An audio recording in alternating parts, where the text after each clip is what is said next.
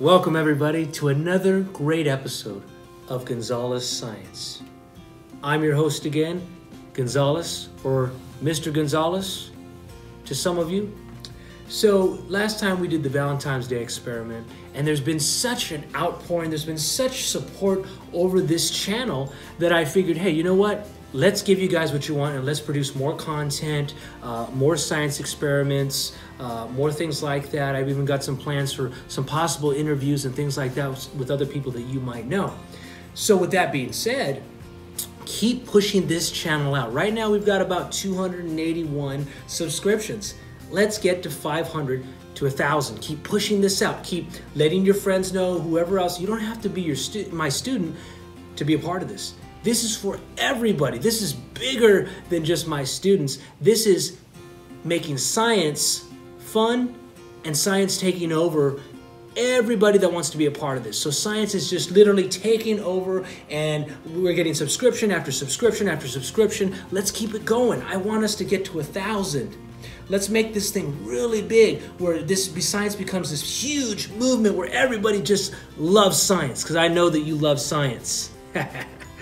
All right, so let me show you now the experiment that I have today. Considering that March is right around the corner, St. Patrick's Day, all that stuff, spring, I figured what better way to celebrate that than with St. Patrick's Day snow. So many of you have done this experiment before. So what this is, is it's called a polymer. Okay, this stuff right here, let me zoom in on the camera. This right here is a polymer. It's called Insta Snow. I've used this probably six or seven years. It's great. Uh, in Japan, they actually use this as artificial snow for people to ski. There's actually a funny story of someone that accidentally dropped this on their their grass and during the summer or during the winter time they wanted this fake snow in front of their house right so when springtime came all went away. And then when it rained again in the winter, all of it was left inside of the dirt and it started to grow again into the snow. And you'll see what I mean by grow again into the snow once I show you. So let's get this thing started. So first things first, we've got our powder, we've got our beakers, we've got 60 milliliters of water. So check it out. Here we go. I'm just gonna take this 60 milliliters of water, I'm gonna pour it inside of the beaker and watch this. This is, this is beautiful. There you go. We wait a second for this. Check it out. Let me try to zoom this in a little bit more right here so you can watch this beautiful snow just start to form. Look at it suck all the water, all that 60 milliliters of water, and it's just literally just growing and erupting. It's wonderful. There it is. And it's, it, it's just great. So it's just it's just artificial snow. Uh, many students have felt this before. It's great stuff. Now, that's not the only thing that's great. But you know what's great is you can change the color of the snow. It doesn't have to be white. Who says the snow's white? Not me. So check it out. I've actually put green food coloring inside this 60 milliliters of water because you know what? It's March right away in a few weeks and I want St. Patrick's Day snow. Here we go. Pour it all in there. Put it right there so you can see it. Check this out again. Look at, look at, look at right here. Wow. Do you guys see that? That is incredible. It is just, just erupting with some beautiful snow. Wow. So again, it's a polymer. It's similar to what's in a baby's diaper, but it's not the same because this is erupting. This snow is sucking all the water. So if you can explain to me on the comment section, number one, what's a polymer? Not going to tell you. Number two, what happens to the snow if we just leave it out? Is it going to stay snow? Number three, is this a physical or chemical reaction?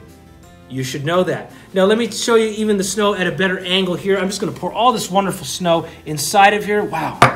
Look at this. Beautiful. Wow, look at that. Look at that. Isn't that, is this, you know, look at that.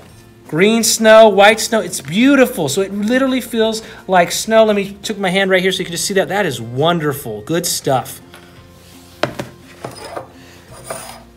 So, that's the experiment for the day.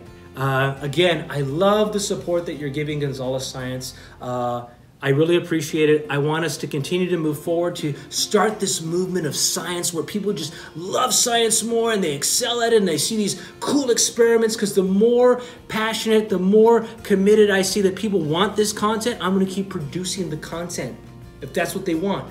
But if people don't want the science content, then I wouldn't. But I can see that you guys are passionate about science. You know that I am. So make sure we get more subscribers, more people zoomed in on this, watching, seeing these cool experiments. Now, a few shout outs. Isaac, thank you. He helped me out with a tripod stand, so I appreciate that, Isaac. Thank you so much. Karen and Alondra, thanks again for your help with subscribers and support. Anybody else like Kishan, thanks again. Appreciate you. If you'd like to have a shout out, again, we'll see. There are plenty of episodes, there are plenty of shout outs waiting to come. Thanks again for watching. Hope you have a great rest of the day. Answer that question again at the end. There's three questions. Number one, physical or chemical reaction. Number two, will it always remain as snow? Number three,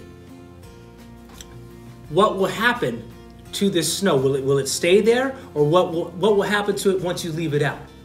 So again, answer those three questions in the comments section. Keep the comments appropriate again. We don't want anything that is unkind or inappropriate. I'll see you again on Gonzalez Science. Have a great rest of the day, everybody.